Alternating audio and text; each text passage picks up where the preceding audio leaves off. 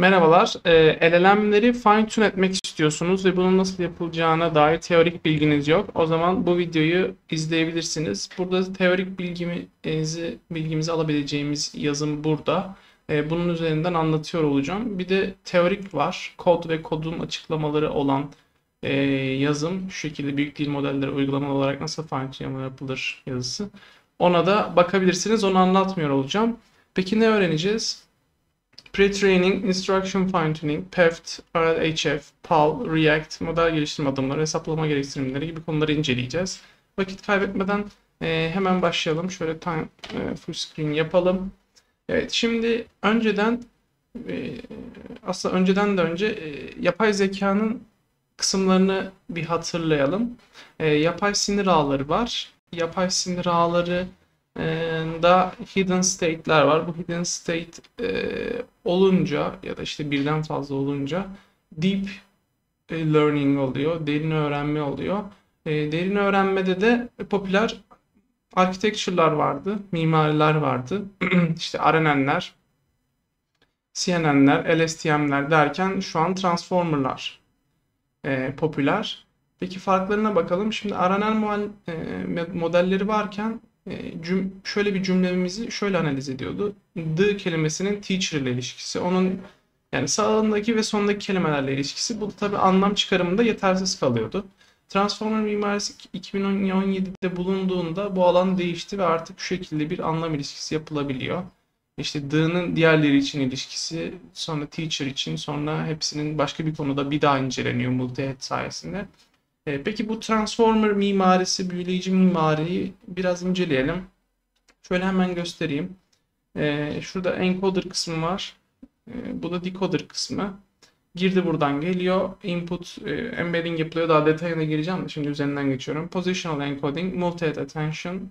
E, aralarda add, add ve normlar var. Feed forward'la decoder'a geliyor. Yine multi attention, feed forward e, işte linear sonra buradan tekrar alınıyor ve tekrar buradan girdi olarak bir, da, bir daha decoder'a veriliyor. Dönüyor ta ki çıktı alınana kadar. Şimdi şöyle bir şey var. Encoder dediğimiz şey anlam, anlama kısmına bakan kısım. Yani basit kelimelerle kodlayıcı söylediklerini anlayan beyin kısmına benzer. Her cümledeki her kelimeye bakar ve cümlenin önemine bağlı olarak belirli kelimelere daha fazla dikkat eder. Bu bilgiyi işler ve bunu decoder'a gönderir. Decoder üretme işleminden sorumludur. Yanıt veren ve geri konuşma e, beyin kısmına benzer. Kodlayıcıdan gelen bilgiyi alır ve yanıt üretmeye, kelime kelime konuşmaya başlar.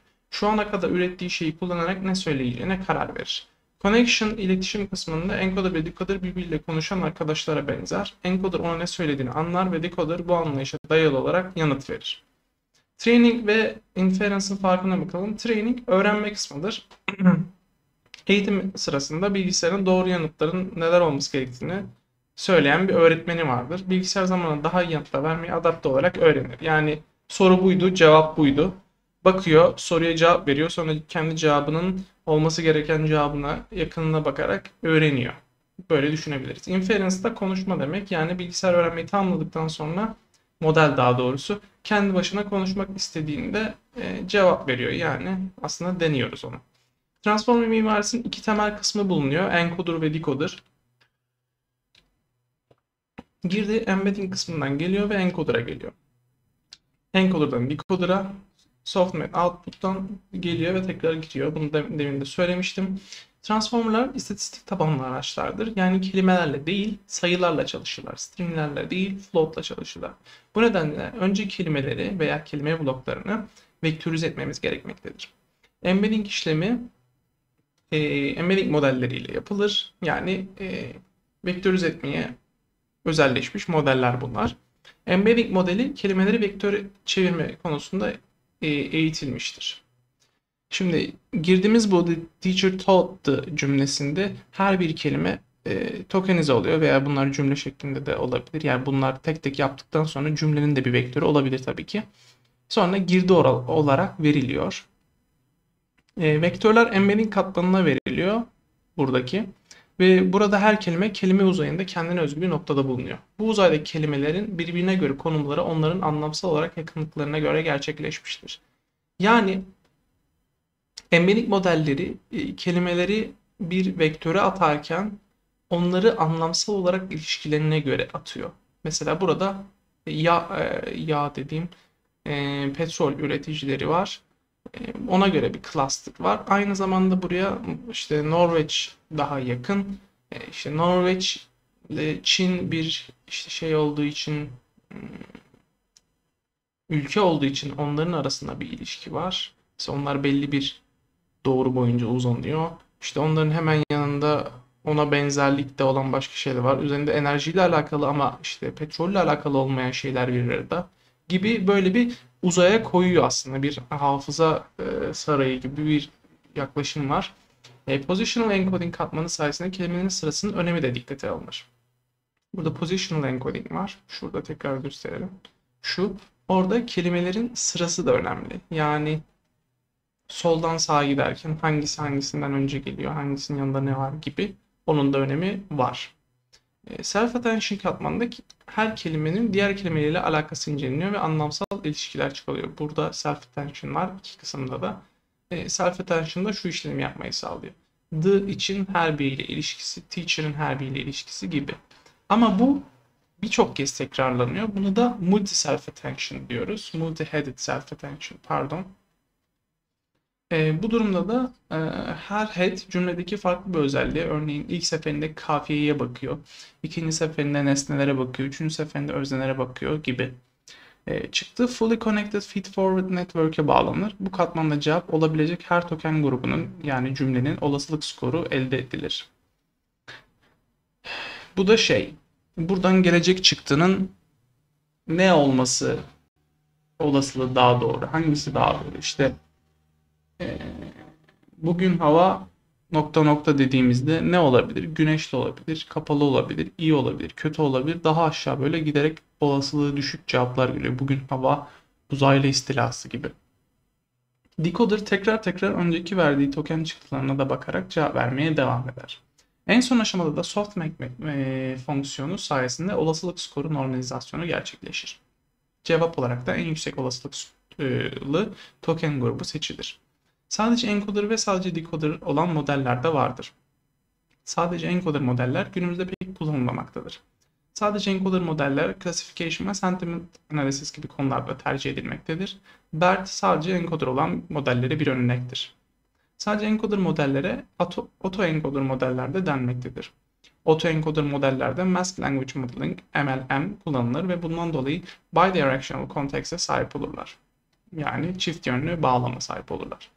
Örnek olmak gerekirse mesela teacher şuradaki kelimeyi maskeliyoruz, kapatıyoruz ve onun ne olabileceğini tahmin ediyoruz.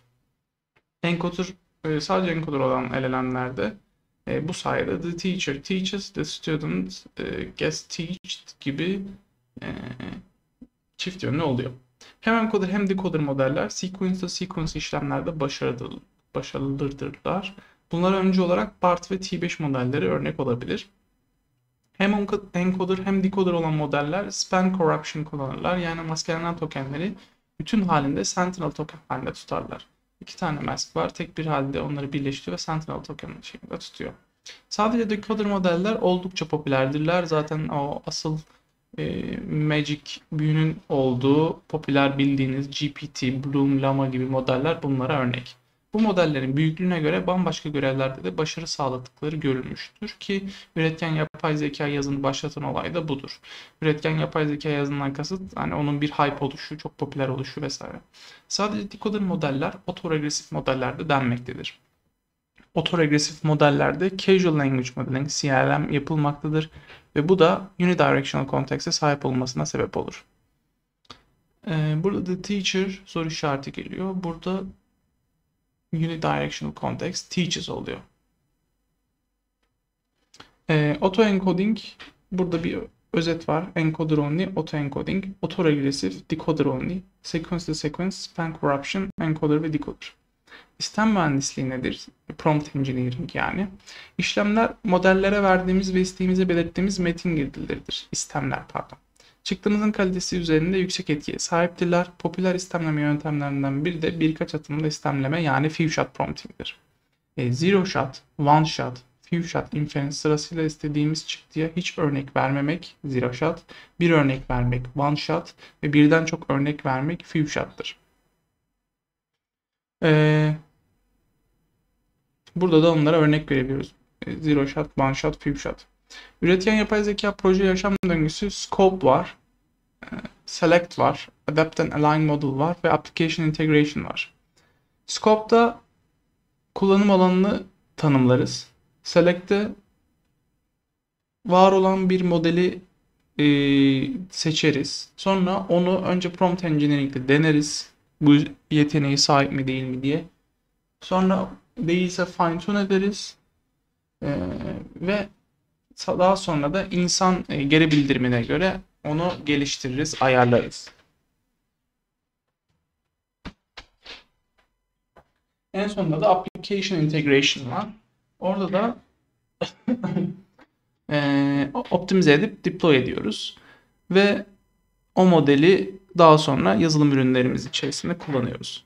Scope kapsam e, belirlemek e, ilk adımdır.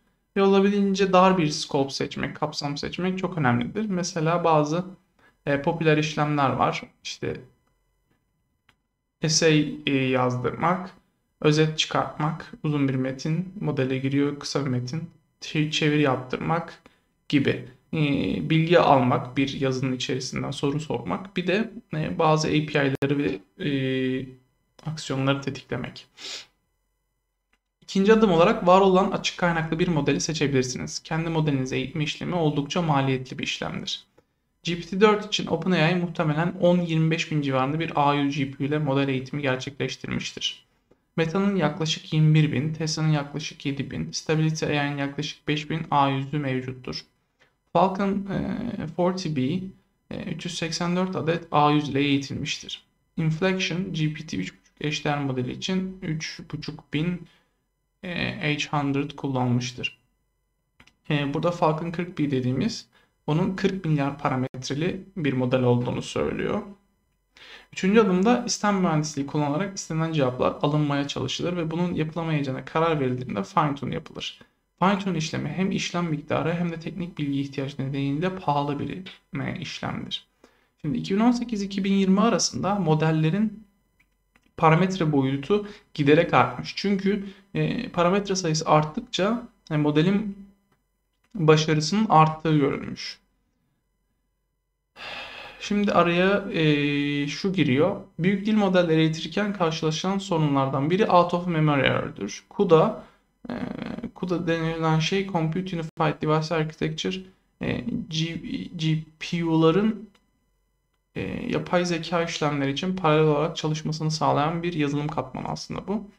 E, bununla ilgili şöyle diyebiliriz. Bir modeli çalıştırmaya karar verdiğinizde onun e, sizin donanımınızda çalışıp çalışmadığını hesaplamanız gerekiyor. Bunu nasıl yapacağımızı öğreneceğiz. Bunu yapmadığınızda eğer aşan bir modelse out of memory error alabilirsiniz.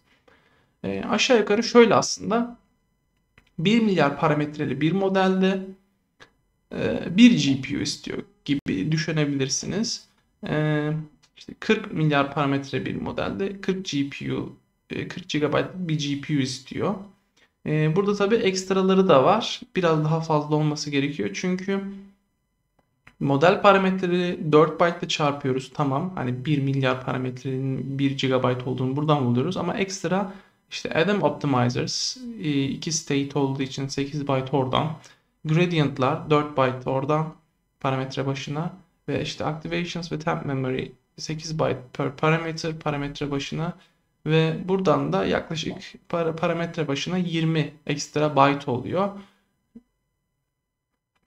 E, bu da e, modellerin neden hani biraz olduğunu işte 30 değil de 33 byte 32 değil de 33 milyar pardon byte değil milyar şey olduğunu işte 16 değil 17 olduğunu vesaire işte 7 milyar parametreli modeller var.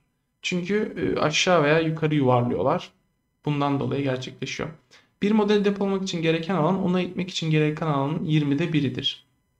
Yani 1 e, GB e, GPU istiyorsa diskte de bu modeli tutmak için ihtiyacınız olan şey e, onun 20'de 1'i oluyor. E, işte 20 GB ise 1 GB da diskte yeriniz olması lazım gibi düşünebilirsiniz. Modelin boyutunu düşürme yöntemlerinden biri var önemli. E, quantization yani nicemleme. LLM'ler bağlamında yüksek hassasiyetli floating değerlerin daha düşük hassasiyetli fixed point temsillerine dönüştürülmesi işlemine deniyor. Ee, burada full precision 32 e, bittir. Burada weight'ler e, float değerlerdir. E, modelin weight'leri. E, onları 30, 16 bitle gö gösterebilirsin. Yani virgülden sonraki değerler daha kaba tutulur. Ve burada e, biraz performanstan kayıp verip e, tuttuğunuz yerden tasarruf edersiniz. 8 e, bite de düşebilir ama e, şöyle bir sıkıntı oluyor. Bir yerden sonra da performans fazla düşük olmaya başlıyor. O yüzden genelde ben 16 bitin tercih edildiğini gördüm. 80 GB Nvidia A100'ün alabileceği maksimum hafıza değeridir. 80 GB Nvidia A100'ün alabileceği maksimum hafıza değeridir ve modeli kartlar arası bölmek zahmetli bir iş olduğundan e, dolayı 16 bit ya da 4 bit quantization kullanmamız gerekmektedir. Modelleri tek bir e, GPU'ya sığdığı halde birden fazla GPU'ya bölmenin de faydaları vardır. Şimdi onların o faydaları görelim. Paralel dağıtılmış veri DDP. E, bu yaklaşımda bir grup parçası GPU'lar arasında bölünür. Böylece e, daha hızlı eğitim yapabilirsiniz. Paralel dağıtılmış model DMP bir modelin parametrelerini, gradyan sıkıntılarını ve optimize edicinin dahili durumlarını GPU'lar arasında böler. Böylece daha büyük modelleri birden çok GPU'ya yükleyebilirsiniz. Data Loader DDP ile modelleri dağıtıyor ama burada şöyle bir dezavantaj var. E, kopyalama işlemi gerçekleşiyor. Yani bazı kısımlar tekrar ediyor. Bu da büyük modellerde kullanılmamasına sebep oluyor. Birazdan göreceğiz. Fully Shared Data Parallel var. FSDP. Ee, bu da Zero Memory Optimization for Training Trillion Parameter Models makalesinde yayınlanmış. Bu günümüzde tercih edilen yöntem özellikle 10 milyardan fazla mod parametreli modellerde. Yani GPU'lar arasında sıfır örtüşmenin olduğunu söylüyor. E, model parametreleri gradyanlarını ve optimize edici durumlarını GPU'lar genelinde distribüt eder. Yani şart e, ederek belleği azaltır. E, burada mesela GPU'lar arasındaki farkları görüyorsunuz. Ee, işlemler arasında hangi parçalar alınmış gibi bir görüntü var. Burada parametreler bir makine öğrenimi modelinin temel öğrenebilir bileşenleridir. Gradyanlar kaybı en az indirmek için parametre güncellemelerinin yönünü sağlar. Yani şu şu noktada e, parametreler güncellensin gibi. Optimize edici durumları da eğitim sürecini etkili bir şekilde yönetmek için optimizasyon algoritmaları tarafından kullanılır. FSDP ile DDP'nin farklarına bakalım. FSDP'de genel GPU bellek kullanımının azaltılmasına yardımcı e, olur. Gerektiğinde CPU'yu aktarmayı destekler. Yani sharding parçalama yapar. E, sharding faktörleri aracılığıyla sharding düzeyini nokta olarak yapılandırılır. DDP'de tüm GPU'lar arasında kopyalanır model dağıtımı, FSDP'de birden fazla GPU'ya bölünür. GPU başına bellek kullanımı DDP'de tam model boyutuyken FSDP'de model boyutunun bir kısmıdır. Büyük modeller için ölçeklenebilirlik DDP'de GPU belleği ile sınırlıyken FSDP'de yüksek ölçenebilirlik potansiyeli vardır. İletişim gideri düşüktür. Çünkü hepsini kopyalıyoruz. Burada biraz daha yüksektir. Ee, kullanım kolaylığı DDP'de basit çünkü PyTorch'a yerleşik olarak var ama FSDP daha karmaşık kurulum ve yapılandırma istiyor. Uygunlukta belleğin sorun olmadığı daha küçük modeller DDP'de tercih edilirken FSDP tek GPU belleğini aşan çok büyük modeller için tercih ediliyor. Burada FSDP kullanımının etkisini görüyoruz. Gördüğünüz gibi 2, 2 e, B diyor. 11B'de şey DDP yok bile, kırmızı yok bile. Fully sharding ya da hybrid sharding var. Orada da fully sharding daha başarılı oluyor. Ee, DDP büyük modelleri eğitmek için yaygın kullanılan bir teknik ancak 5 milyondan fazla parametre bir model için e, tercih edilmiyor. Bunun sebebi işte bellek darboğazı var, sınırlı ölçeklendirebilirlik var, iyi senkronizasyonu yükü var. E, Pretraining için ölçeklendirme seçenekleri buradaki üçgen şunu kastediyor. constraint'lerimiz var. İşte compute budget, çalıştırma bütçemiz var. Ee, burada scaling choice, data, set, setinizin büyüklüğü ile model size'ınız ters orantılı. Yani ikisini de arttırırsanız constraint'iniz arttırır. Burada ya modeli düşürüp datayı arttıracaksınız ya da datayı düşürüp modeli arttıracaksınız. Ee, tabii daha iyi performans almanız için ikisi de artması gerekiyor ama constraint de artacaktır. Ee, LLM'ler etmek için hesaplama bütçesine bakalım. Petaflop bölü saniye e, gün sa saniyede bir petaflop işlemek işlem yapılarak bir gün boyunca çalışma anlamına gelir. E, burada bir A100 100'ün petaflop saniye günü e, bir V100'ün petaflop saniye günün 4 katıdır. Yani A100'ler V100'lere göre e, 4 kat iyidir diyebiliriz. Bazı LLM'leri pretrain etme petaflop gün sayısına bakalım. Burada GPT-3'ün 175 milyar yani herkesin kullandığı boyutu mesela 1000'in 1000 petaflop saniye günün biraz üzerinde oldukça büyük. Çok büyük modeller fazla parametre oldukları için az eğitilmiştirler. Daha çok veriyle eğitilmiş daha küçük modeller büyük modeller kadar başarılı olabilirler. Günümüzde de onu görüyoruz. Ee, burada hesaplama olarak optimal eğitim veri setinin e, token sayısı parametre sayısının 20 kat e, olmalıdır. Yeşilde gösterilenler iyi iken kırmızılar undertrained'tir yani gereğinden az eğitilmişlerdir. Ee, çünkü çok büyükler. Yani az eğitilerek yeterli şeyi elde etmişler. Ee, burada da şöyle bir durum söz konusu. Biraz öncesini göstermiştim. 2018-2022 arasında modeller sürekli büyümek, büyümekteydi.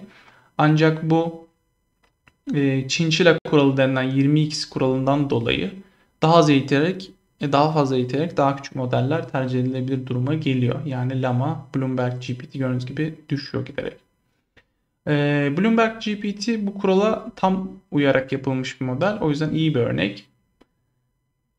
Ee, burada işte ne kadar optimal oldukları e, open source modellerin hatta closed source GPT-3 vesaire de var. Ee, karşılaştırılıyor. Ee, Bloomberg GPT'nin kullandığı veriler ve oranlar var. İşte şu kadar token ee, eğitim setinin yüzde kaçı gibi size bir fikir verebilir. Pre-training, instruction tuning ve RHLF'in farkına bakalım.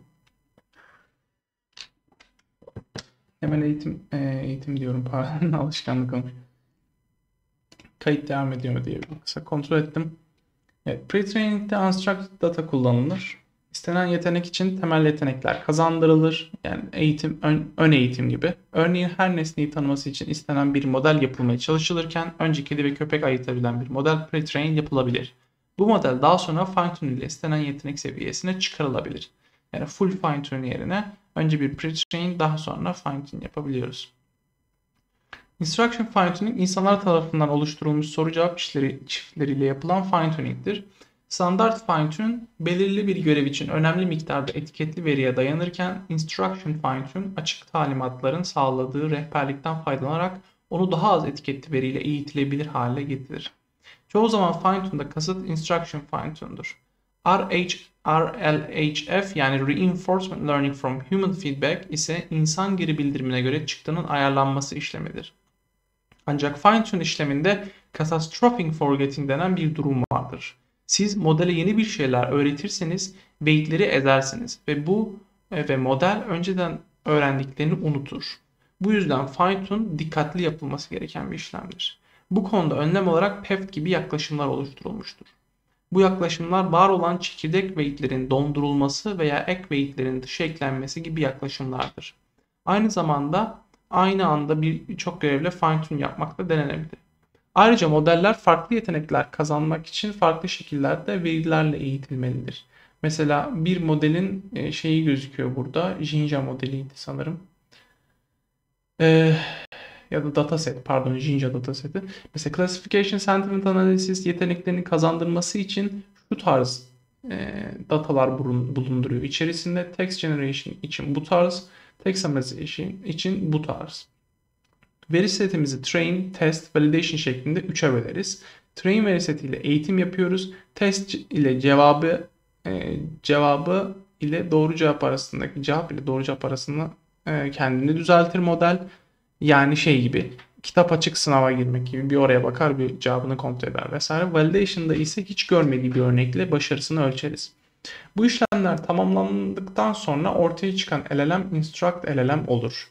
Yani istenen bir alanda daha iyi performans gösterir. FLAN diye bir şey var. Onun ne olduğundan bahsederim. Fine Tuned Language Net'tir. FLAN modelleri ince yer yani fine tune gerçekleştirmek için kullanılan bir dizi talimattır. E, modeller pre-training yapıldıktan hemen sonra FLAN yapılırlar. E, T5, POM gibi modellerin FLAN modelleri bulunmaktadır. FLAN yapılmış modeller temel birçok yeteneği kolay, kolayca kazanabilmektedirler. Bunlar işte e, ne tarz işlemler olduğunu burada görebilirsiniz. E, buradaki muffin başlığı altında Samsung var. Yani summarization datası. O da şu şekilde oluyor. Diyalog ve summary gibi çiftler oluyor. Burada da kendi datanızı e, oluştururken ne tarz bir e, yapı tercih edebileceğinizi görüyorsunuz. Örneğin T5 Flan modelini özetleme yeteneği sizin durumunuzda başarısız kalmış olabilir. Bunun sebebi verinin türüdür. Sizin veriniz belli bir alan özelinde veya farklı bir türde örneğin diyalog değil de monolog şeklinde ise o türden veriler bulmanız ve toplamanız daha sonra onunla instruction function yapmanız gerekmektedir ki başarınız artabilsin. Modellerin değerlendirilmesine geldik. Geleneksel yapay zekada başarı daha kolay bir şekilde ölçülür ancak üretken yapay zekada cevaplar deterministik olmadığı için durum daha zordur. Bunun için e, semantik skorlama yöntemleri veya evaluation LLM'leri kullanılır. Rouge özetleme işlemleri için kullanılır ve çözümü bir veya birkaç örnek örne e, birkaç örnekle karşılaştırır. Blue ise e, metin çevirisi için kullanılır ve cevabı insan üretimi çevirileriyle karşılaştırır. One unigramlar yani her kelime için bir cümledeki her kelime için aşağıdaki işlemi yapar. Recall'a bakar, unigram eşleşmeleri bölü referanstaki unigram sayısı, precision precision unigram eşleşmeleri bölü çıktıdaki toplam unigram sayısı. F1 skoru vardır. F1 skoru da her zaman e, 2 çarpı precision recall bölü precision artı recall. E, F1 skoru hem recall'a hem precision'a eşit e, önem sağlayan onların arasında bir değer alan bir skordur. Burada unigram için örneği gösterelim. Mesela ben data hazırlarken it is cold outside cevabın bu olmasının gerektiğini söylüyorum. Generated output ise it is very cold outside. Burada işte Rouge One için recall'a bakarken unigram matches e, eşleşenler 4'te 4 o yüzden 1 puan alıyor. Tam puan alıyor yani. E, precision'a bakıyoruz. Unigram matchleşmeliyle unigram e, e output işte burada 4 tane varken 5 oluyor. Ee, bunu da 0.8 alıyor. Yani %80. Ee, burada F1 skorda 12 S arasında bir değer olduğunda %89 oluyor. Daha sonra bu işlemi sırasıyla 1 gram, trigram yani n grama kadar cümlendeki tüm kelimelere kadar tekrarlıyor ve bu şekilde bir genel skor çıkarıyor. Bir de Rouge L var. LSCS yani Longest Subsequent Common Subsequences olan en uzun uzun ortan e, ortak alt diziye bakıyor. Yani en uzun ortak alt diziye iki tarafta da tekrar eden en uzun e, bitişik şey yani cold outside gibi ya da it is gibi ikili bakıyor. Onun hesabında bu şekilde olduğunu öğrendik. Ee, bazı durumlarda Rouge iyi skor verse cevap iyi olmayabiliyor. Buna çözüm olarak farklı engramlar ile deneme yapmak gerekebilir.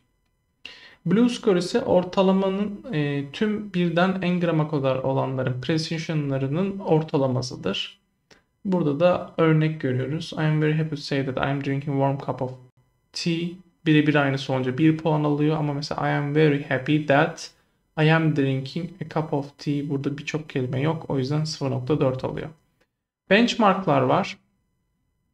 Burada glue, super glue, helm, MMLU, MMLU yani Massive Multitask Language Understanding, Big Bench gibi benchmarking LLM'leri var. Bu modeller büyüdükçe insanlara yaklaşıyorlar. insanların skorlamalarını ancak asla insan kadar iyi değerlendirme yapamıyorlar. Bunların arasından hem e, dikkat çekiyor hem çünkü diğerlerinde olmayan bazı şeylere de bakıyor. Bu accuracy e, calibration, ro- robustness, fairness, bias, toxicity ve efficiency gibi değerler. PEFT nedir?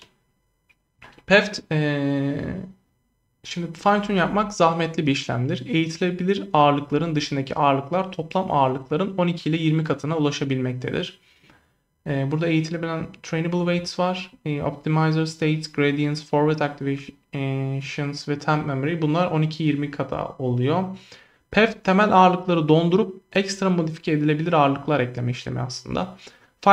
Full fine tuning her seferinde modelin bambaşka bir versiyonunu oluştururken PEF ile yalnızca takılıp çıkarılabilen ağırlıklar grubu eğitiyoruz. Böylece hafızadan tasarruf ederken esneklik kazanmış oluyoruz. Yani nasıl oluyor? Ben bir ben e, eklenebilir bir e, ağırlıkları eğitiyorum. Sonra o ağırlıkları çıkarıp başkasına yolluyorum. Zaten modeli internetten indirebiliyor kişi. O modeli ona yollamak zorunda kalmıyorum veya hani kendisi orada indiriyor gibi bir yapı var ki alıp birleştirebilsin. Ee, bu adaptör kısmı da ha, birazdan bahsedeceğim zaten. Şimdi girmeyeyim. E, PEFT yapmak için farklı metodlar var ve her bir metodun farklı konularda trade-off'ları var. Yani kazançları ve kayıpları var. Yani bir şeyden avantaj sağlarken başka bir konuda dezavantaj gösterirler zaten sonrasında söylemişim. Selective metot genel olarak tercih edilmemektedir. E, Reaper Parameterization metodu mesela LoRa düşük seviye bir temsil kullanarak model ağırlıklarını yeniden parametrize eder. Additive metot modele eğitilebilir katmanlar ve parametreler ekler. Additive metodunda iki farklı yaklaşım bulunmaktadır. Bunlardan biri adaptörlerdir, diğeri de soft prompts yaklaşımıdır. Soft prompts yönteminde ise promptların embeddingleri veya embedding modeli yeniden eğitilir. En popüler soft prompt tekniği prompt tuning'dir. LoRa yani Low Rank Adaptation of Large Language Models kendine dikkat aşamasında embedding vektörlerine ağırlıklar eklenir. Kendine dikkat aşaması dediğimiz self attention mekanizmasında weights applied to embedding vectors. Embedding vektörlere ağırlıklar ekleniyor. Bu şekilde train edilebiliyor. E, orijinal LLM ağırlıklarının çoğu dondurulur. 2 dereceli ayrıştırma matrisi, matrisi enjekte edilir. Daha ufak olan matrisin ağırlıkları eğitilir. Modelin ağırlıklarını güncellemek için bu iki dereceli ayrıştırma matrisi birbiriyle çarpılır ve dondurulmuş ağırlıklara eklenir. Updated weights burada iki e, matris var B çarpı A e, birbirine ekleniyor. Burada da orijinaller dondurulur demişim. Bunu birebir çevirmişim işte. İki ince iki renkli composition matrix, train weights, steps to update model for inferences. Evet. Örnek olarak attention is all you need yani transformerların başlangıç makalesinde bir transformer mimarisi var. Oradaki ağırlıkları kullanırsak, ağırlık sayısını alırsak 512 çarpı 64'ten 32.768 eğitilebilir parametre olduğunu buluyoruz. Burada renk değeri R'yi 8 olarak olan bir LoRa kullanırsak A metresi 8 çarpı 64 512 yapar. B 512 çarpı 8'den 4096 yapar. A ve B matrisleri var. Bunları eğiteceğiz. E, burada sonuç olarak eğitilecek parametre sayısı %86 düşmüş olur ve performans da %3.20 olabilecek bir düşüş oluyor ki bu çok iyi bir trade-off. Yani modelin çok büyük bir boyutu düşerken çok az bir performans kaybı yaşanıyor. Rengi 4 ile 32 aralığında seçmek eğitilebilir parametrenin azaltılması ile performansın koruması arasında iyi bir denge sağlayabilir. Yani siz bunu renklerini değiştirirken bu aralıkta tutmaya özen gösterin diyoruz. Soft prompting Prompt tuning girdiye eğitilebilir soft promptlar ekler. Yumuşak istemler yani. Bunlar diğer girdi token vektörleriyle aynı uzunluktadır ve genellikle 20 ile 100 arasında tokene sahiptir. Ee, soft promptlar var. Bu prompt yani girdi var. The teacher teaches the student with the book. Burada da soft promptlar ekliyoruz. Full fine tuning aksine modelin ağırlıkları dondurulur ve yalnızca girdiye eklenen soft promptlar eğitilir. Böylece milyon ve milyar değil 10 ile 100 bin arasında parametre güncellenmiş olur. Ee, yani aslında girdiği şey yapıyoruz gibi, girdiği fine tune ediyoruz gibi bir şey düşünebilirsiniz. Gördüğünüz gibi normalde girdiler ve çıktılar böyleyken buraların uçlarına parçalar ekliyoruz. Prompt tuning 10 milyar parametre modellerde full fine tuning ve multitask fine tuning ile aynı seviyede gelişme gösterir. Mesela bunlardan önce aşağıda kalırken 10 milyardan sonra e, noktasında eşitleniyor. E, prompt engineering de daha aşağıda tabii ki ama prompt engineering hatırlarsanız ilk adımımızdı e, life cycle'da. Burada bir karşılaştırma var. Hangilerini işte prompt tuning'in multitask fine tuning ve full time e, fine tuning karşılaştırması. E, fine tuning seviyesi limitlidir prompting tuning'de. E, pre-trained model parametrelerini promptlar aracılığıyla fine tune ederiz. Multitask fine tuning'de fine, e, birçok downstream görevinde fine tune ederiz. Full fine tuning'de tek bir görev için eğitiriz. Model parametrelerin minimal değişir, ortalama değişir, çok değişir. E, eğitim datası burada daha az data e, gerekir. E, spesifik promptlar olabilir. Yani gireceğiniz e, girdi olarak verilecek promptun e, şeyi önemli, daha önemli hale gelir. Or burada birçok dataset gerekir farklı görevler için. Burada tek bir görev için çok büyük dataset gerekir. Computation eğitim maliyeti burada azken burada orta burada çok. Flexibility e, çok adaptable yeni görevlere. Minimal data istiyor her görev için. Birçok task'e adaptable olabilir. E, farklı domainlerden bilgiler kullanabilir. Burada da daha limited. Çok data istiyor dediğimiz gibi tekrar etmeye başladık artık. E, bunu anladın yani. Efficient, fast, daha yavaş ama tek bir görevde çok şey yapıyor gibi düşünebiliriz. Peki reinforcement learning from human feedback nedir? Modeller toksik, tehlikeli veya agresif cevaplar verebilmektedirler. Modellerin çıktıları e, Triple H kuralına uymalıdır. Yani honest, helpful ve harmless. Yani dürüst, yardımsever ve zararsız. Arada HF e, olan modeller diğer modellerden çok daha iyi performans gösterir. Ayrıca çıktının te- toksik, tehlikeli veya agresif olmasının da önüne geçilir.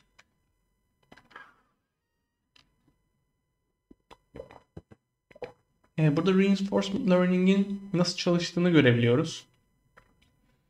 E, environment'tan, ortamdan, e, LLM bağlamından e, bir reward model oluyor. Oradan bir reward yollanıyor. E, aynı zamanda da objektif veriliyor. E, bir, bir çeşit reinforcement learning aslında adında da geçiyor. Yani o, o ajan iyi bir şey yaptın, kötü bir şey yaptın diye feedback verilerek kendini ayarlıyor. Burada şu an popüler olan şey 1 ile 5 arasında bir skor alınması ve bu ya da cevabın kalitesi de alınabilir cümle olarak. Ama genelde bir skor alınıyor ve bu bilgiler eğitim datası çiftlerine dönüştürülüyor. Yani bu girdiği, bu çıktığının puanı budur gibi. Oluşturulan bu data ile tercih edilen cevabı tahmin etmesi için bir model eğitiliyor. Yani reward modeli, ödül modeli. Eğitilen bu ödül modeli oluştururken her data çifti için binary yani e, true false 1 0 gibi çift e, sınıflayıcı gibi bir davranarak ödül tahmin ediyor. Yani ödül var veya ödül yok gibi. E, ve algoritma prompt data setinden human aligned LLM insanla aligned olmuş, işlenmiş LLM ee, ödül modeli, ödül modeli PPO'ya gider. Proximal Policy Optimization. O da tekrarına geri verir. Peki Proximal Policy Optimization nasıl çalışıyor? Ee, ilk adımda değer kaybı value, value loss hesaplanıyor. Ee, future Total Reward ve Estimated Future Total Reward Estimated'dan known çıkarılıyor. Ee, ve burada birçok işlem yapılıyor. Bunu bilmenize gerek yok aslında. Sadece ne olduğunu anlamanız için anlatılıyor. E, politika zararının yani policy loss hesaplanıyor. E, P theta denilen değer şu. Tokenler üzerindeki model dağılımı AT değeri de tahmini avantaj terimidir. Mevcut eylemin tüm olası eylemlerle karşılaştığında ne kadar iyi ve kötü olduğunu tahmin eder. E, burada belli bir değer arasından çıkmamasına e, sağlamak için burada minimum hepsi minimum alıyor. İçeride de trust region yani belli aralıklarda olmasını sağlayan değerler kullanılıyor. E, ikinci fazla da entropi rastgeleliği eğitim sırasında ayarlıyor. Yani şu tarz mantıklı cevaplar gelirken böyle daha absürt cevaplar daha zor geliyor. Bu da çok absürt değil de örnek vermek istedim. Ee, bir de hiperparametreler var. C1 ve C2 onlar da hiperparametreler. Bu arada PPO'nun bir avant e, bir alternatifi de Q-Learning. Q-Learning şu an Q-Star ile bir şeyi oldu. Hani e, Artificial General Intelligence mı bulunuyor gibi söylemleri ortaya çıkardı OpenAI'ın. Oradan da bağlantıyı kurabilirsiniz. PPO popüler çünkü karmaşık performans arasında bir denge sunuyor. Q-Learning daha az popüler bir yaklaşım. Potansiyel RLHF problemi ödül hacklemek. Yani burada durum şu. Biz toksik olmayacak şekilde bir reward modeli hazırlıyoruz. Yani cevaplar en az toksikliğe gelsin diye. Ama burada model şöyle bir şey yapabiliyor. Onu maksimum puan almak için aşırı aşırı anti toksik davranıyor. Yani her şey çok güzel çiçekler açıyor gibi cevaplar vermesine sebep oluyor. Bunun da önüne bazı şekillerde geçilebiliyor. E, dondurulmuş bir referans modeliyle reinforcement learning yapılmış bir modelin çıktısı arasındaki fark e, KL Divergence Shift Penalty ile hesaplanır. Daha sonra bu çıktı ödül modelinden çıkan ödülle eklenip PPO'ya verilir. Reinforcement Learning yapılmış modelde aslında referans modelinin PEFT adaptörü ile güncellenmiş halinden başkası değildir. Yani geliyor referans modeli bunlar tabii ki dondurulmuş. Sonra KL Divergence Shift Penalty'ye geliyor. Aynı zamanda prompt dataset buraya da geliyor. Ee, buradan KL Divergence Penalty get added to the reward ödüle, ödüle ekleniyor. Yani PPO'ya yollanıyor. PPO buradan adaptöre geliyor. Ee, aynı zamanda buradan gelen çıktı reward model'a geliyor ve tekrar buraya geliyor gibi döngüsel bir algoritma var. E, başarısının test edilmesinde de bir veri seti alınıyor ve ödül modeliyle değerin kontrol e, ediliyor. Daha sonra geliştirilen modeli deniyorsunuz ve istediğiniz yönde bir gelişme görüyorsunuz. İşte önceden böyleydi artık daha iyi gibi. E, KL Divergence var.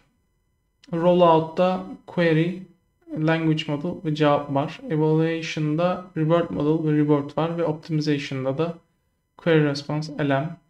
Aslında yukarıdakine benziyor. Yani şurada ne olduğunu anlatıyoruz aslında burada.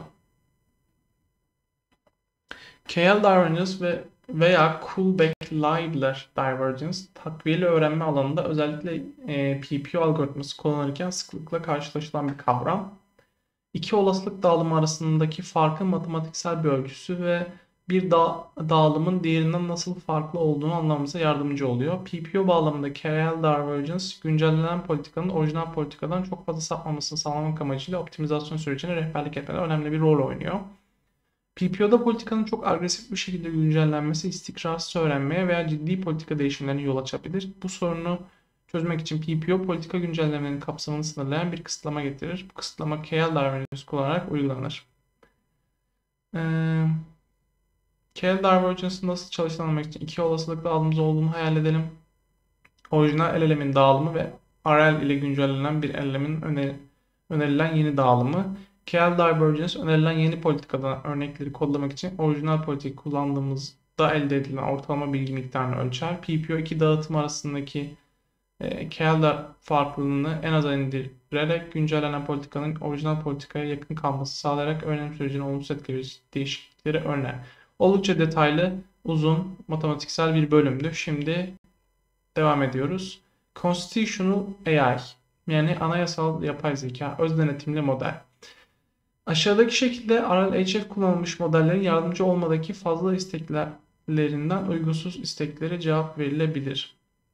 Yani bana hacklemede yardımcı ettiğinde helpful e, direkt cevap verirken e, Constitutional AI oluşturmak için burada bir prompt var. İşte Triple H kuralına uymamız gerekiyor. Honest, dürüst, yardımsever ve zararsız olmamız gerekiyor.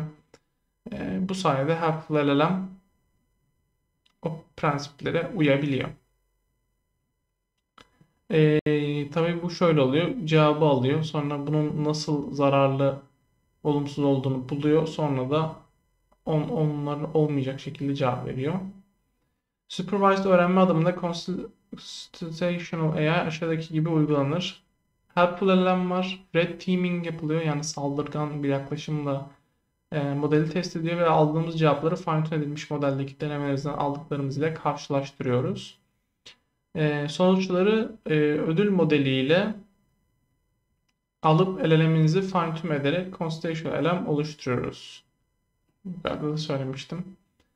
Dağıtım için model optimizasyonu en sonunda modelimizi optimize ediyoruz. Modeli deploy ederken onun boyu, e, boyutunu düşürmek ama aynı zamanda performansını korumak istiyoruz. Bunun için bazı yöntemler var. Bunlardan en bilinenleri damıtma, distillation, distillation nicemleme, quantization ve budama, pruning. E, distillation LLM teacher'dan LLM student oluşturma işlemi. Quantization'da LLM'i e, weight'lerin şeyini detayını düşürüyoruz. Float'ların değerini, precision'ı düşürüyoruz. Pruning'de de LLM'den pruned LLM oluşturuyoruz. Damıtmada daha büyük bir öğretici modelden daha küçük bir öğrenci modeli eğitme işlemi. LLM Teacher var. E, soft Label, Soft Max, Distillation Loss belli şeyler kaybediliyor. E, yani daha farklı bir model oluşuyor. Öğretmen modelinin ağırlıklarını donduruyoruz ve bunu eğitim verilerimiz için tamamlamalar oluşturmak için kullanıyoruz. Aynı zamanda öğrenci modelimizi kullanarak eğitim verileri için tamamlamalar oluşturuyoruz. Öğretmen ve öğrenci modeli arasındaki bilgi damıtma, damıtma kaybı adı verilen bir kayıp fonksiyonunun en az indirmesiyle elde ediliyor. Bu kaybı hesaplamak için damıtma öğretmen modelinin softmax katmanı tarafından üretilen tokenler ile olasılık dağılımını kullanıyor. Öğretmen modeli eğitim verilerine göre zaten ince ayarlı. Ee, dolayısıyla olasılık dağılımı muhtemelen temel gerçek verileriyle yakından eşleşmekte ve belirteçlerde, tokenlarda çok fazla değişiklik olmayacak. Bu nedenle damıtma softmax işleminde bir sıcaklık temperature parametresi ekleyerek küçük bir hile uyguluyor. Bu daha yumuşak dağıtım e, size temel gerçek tokenlara benzer dizi tokenlar sağlamanızı sağlıyor. Ee, burada bir sürü detay var. Damıtma ile ilgili. Ee, quantization'a bakalım. Eğitim sonrası nicemleme. Model ağırlıklarının hassasiyetini azaltma yöntemidir. Model ağırlıkları float değişkenlerdir ve bu değerlerin virgülden sonraki hassasiyetini 32 bitten 16 ve 8'e düşerek çekebilirsiniz. Bu şekilde performansta bir düşüş sağlarız ancak model boyusu azaltılabilir. Bir de pruning var, budama. Değeri 0 veya 0'a yakın model model ağırlıklarının modelden çıkarılması işlemi aslında. Teoride modelin boyutunu art, azaltıp performansını arttırmakta ama gerçekte işe yaram çok işe yaramıyor. Çünkü modeldeki çoğu parametre sıfıra yakın ya da sıfır olmuyor. Ee, bazı budama teknikleri var. Full Model Retraining, Path LoRa, Post Training gibi. Pre-training, Prompt Engineering, Prompt Tuning, Fine Tuning, RLHF, ee, compression ve optimization yöntemlerinin amaç, efor, eğitim süresi gibi konularda karşılaştırılması da burada. Ee, giderek artıyor aslında. Expertise pre-training'de high expertise çok uzman olmanız lazım. E, e, prompt engineering'de low, prompt tuning ve fine tuning'de orta derecede, reinforcement learning'de orta ve yüksek, compression optimization ve deployment'da da orta derecede bilgili olmanız gerekiyor ona uygun olarak incelersiniz. Ee, LLM destekli uygulama geliştirme aslında burada var ama konumuzun bir parçası değil. Yani regler oluşturma, o modeli deploy ettikten sonra onunla yazılım ürünleri oluşturabilirsiniz LLM kullanan. İşte bunlardan biri reg'dir. Doküman alıp dokümana sorular sorar. Onun nasıl olacağını anlatıyor ama reg ile ilgili daha detaylı yazılarım var. O yüzden atlıyorum. Program destekli dil modelleri var. POL dediğimiz matematiksel kelime sorunlarının sorularının çözümü için geliştirilen bu işlemleme yönteminde soru koda dönüştürülüyor ve böylece başarılı bir bi biçimde işlem yapılabilir hale geliyor. LLM artık kod interpreter. Ee, düşünce zinciri solda, program destekli dil modeli sağda. Tek atımlı program destekli dil modeli örneği. E, Pol Prompt Template var. Pol Formatted Prompt var. LLM'e gidiyor. Python script oluşuyor oradan ve oradan cevap geliyor. Yani şöyle özetleyeyim. Dil modelleri kelimelerle kelimeleri vektöre çevirip onlar üzerinde çalışıyor. Bu yüzden e, matematiksel şeylerde çok iyi başarılı. İşte bilmem kimin 5 topu var. Ayşe'nin 2 topu var.